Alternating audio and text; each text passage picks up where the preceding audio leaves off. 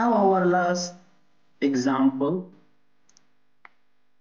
is uh, a smaller program that acts as a calculator. Write a Java program that asks the user to enter two float numbers, so the input are two float numbers, and a character which represents a code for an arithmetic operation. Arithmetic operation is plus, minus, subtract, and divide. The program performs arithmetic operations, addition, subtraction, multiplication, and division on those two numbers depending on the value of code as follows. So when we read code, we are going to test it against many constant a capital a small for addition s capital s small for subtraction m capital m small multiplication d capital and d small for division if the code character that is entered by the user is not one of those specified above print a message saying invalid code and quit the program so the input two float numbers and a character let's go to jgrasp and write the program here now we are in JGrasp. Uh, I have already prepared the program. So we need initially two variables, double. We will call it first number and we will call it second number because we are going to add two numbers, first and second. And also we need a code for the arithmetic operation. Uh, we will ask the user enter two numbers and a code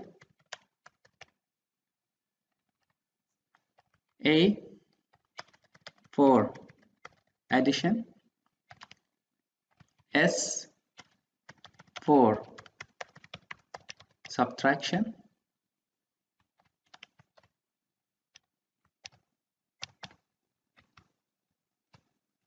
copy just we would like to copy. And we will remove here so we will uh, for s so we need m for multiplication.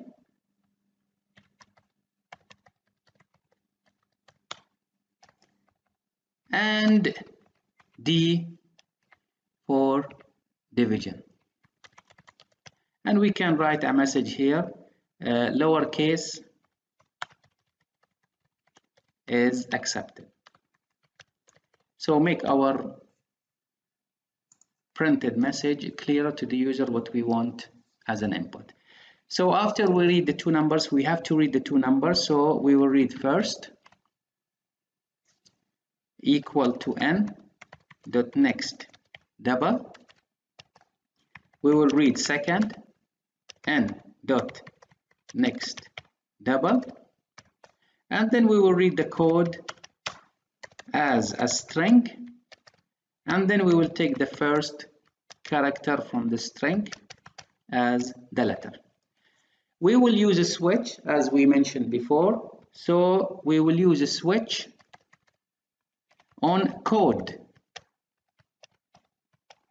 And inside we will have cases for each one. So we will have a case for capital letter A and case for small letter a. And this will include the addition so we need to add the two numbers and print the result. We are not going to save the result into um, a variable. We will just write it directly using print. So system dot out dot println we will print our output so it is clear what we are adding and what is the result. So first we will print the value of first followed by a plus sign because this is addition, followed by the second number, followed by equal as an answer, and followed by the result. And what is the result? We add first plus second. Here I'm using a plus so that we, so that the um, compiler cannot assume that this is concatenation, which is combining two strings. It is addition. And don't forget we need to write a break after we finish. Now here we are taking two lines for the two cases. We can combine them on one line. So we can bring the second case on the same line and then below the first case we put the statement so that we have a space on the left hand side of the page. I will copy these whole lines and I will paste them because we don't want to repeat typing and we will do it for S. And we will put a break. And also we will copy it for the other operations as well. So copy. This is for division. Oh we have already have a break this is for multiplication sorry. And last we will do it for uh, the division. So for the division and multiplication we need to change this to m and this to m. And don't forget for subtraction we have to change also the output minus.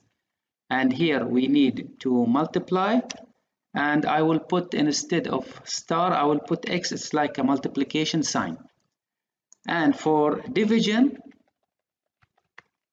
so the symbol will be this is the symbol we will use and we will write divide. And for default which is like it's like a last else there is no if the code is not one of those then we will print a message by saying invalid arithmetic operation code.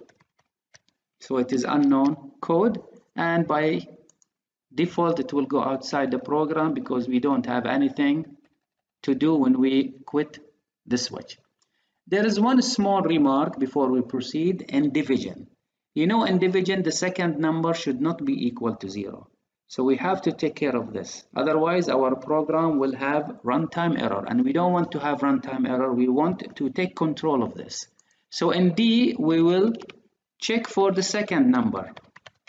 If the second number is equal to 0 we will print a message system.out.println division by 0 okay? This is what we will see. So it, uh, it is a division by 0 else if this is not the case then we will print the result. Notice we don't need curly brackets inside case. So we have a break and we have if and else. It looks like two statements, but we don't need a. We don't need curly brackets. Put as many statements as you wish. Let us run the program and see if maybe there are errors. Hopefully there are no errors. Run it. So no errors. Enter two numbers and a code A for addition and etc. So let us try all of them. I will try addition 3.4, 5.6 and I will put a small letter so it is adding them and it is correct. Run it again and we will put 3.1, 3 point, let's put integer so we check that the answer is correct and multiply I will put M capital letter so the multiplication is correct. Now for subtraction run it again. Uh, we will have 10.3 minus 7.3 and this is S capital letter so it is minus. And for division we will check both. We will have 20 and 4 which is D for division so it is dividing correct. And when we run it again for 3.4 and 0 and we say divide then let's say division by 0 and this completes our program